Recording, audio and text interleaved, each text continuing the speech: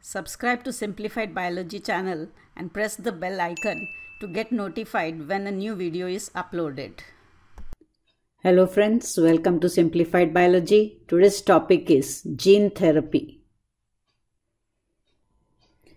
Gene therapy. Now one main application of biotechnology in medicine is gene therapy. Gene therapy allows correction of a gene defect diagnosed in a child or in the embryo. Or you can say it is replacing a faulty gene with a normal, healthy, functional gene. Means a functional gene is introduced into the cells or tissues of the patient to treat the disease. Now, this introduced gene then starts behaving as the normal gene, taking over function of the normal gene, hence treating the patient. The first clinical gene therapy was given to a four year old girl child with ADA deficiency in 1990. ADA deficiency means in these patients adenosine deaminase enzyme is not formed, which damages the immune system leading to SCID disease. SCID disease is severe combined immunodeficiency.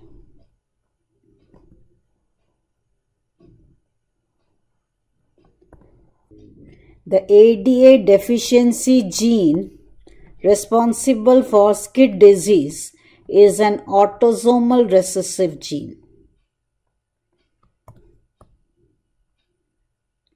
It is a rare defect and it has developed due to deletion of ADA gene.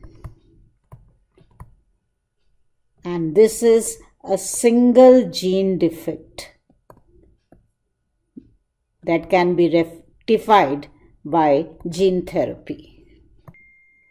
Adenosine deaminase enzyme is present in the lymphocyte, a type of WBC that protects the cell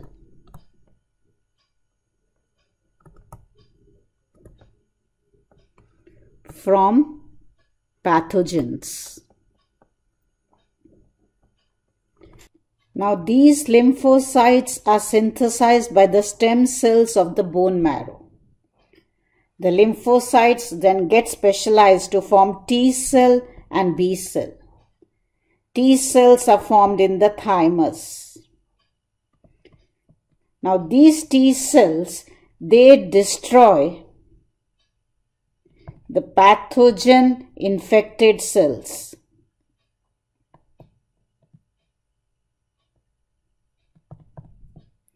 While the B cells they produce antibodies that neutralize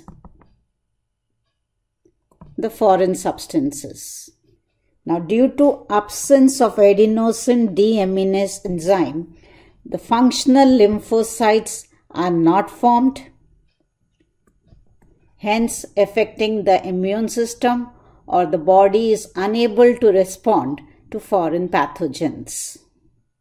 Now, the SCID disease can be cured by gene therapy.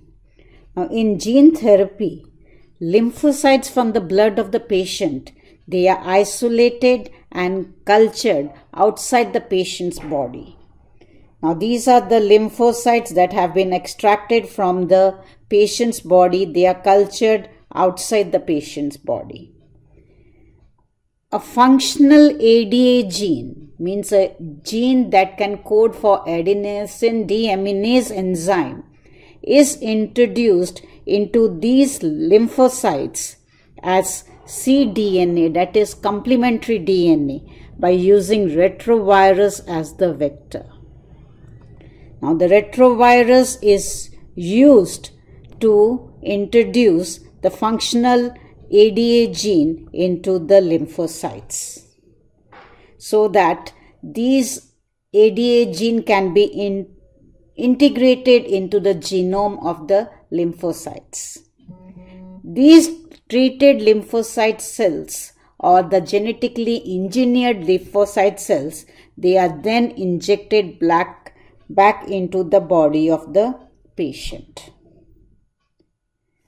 Now, since these lymphocytes are immortal, means they too have a life period after which they are destroyed. A periodic infusion of genetically engineered lymphocytes are needed. Regular infusion of the genetically engineered lymphocytes are needed as the lymphocytes are immortal. Now, as lymphocytes are immortal, a periodic infusion is needed, so that is not a permanent cure. For a permanent cure, the genetic defect should be de detected in the embryonal stage. And these genetically engineered cells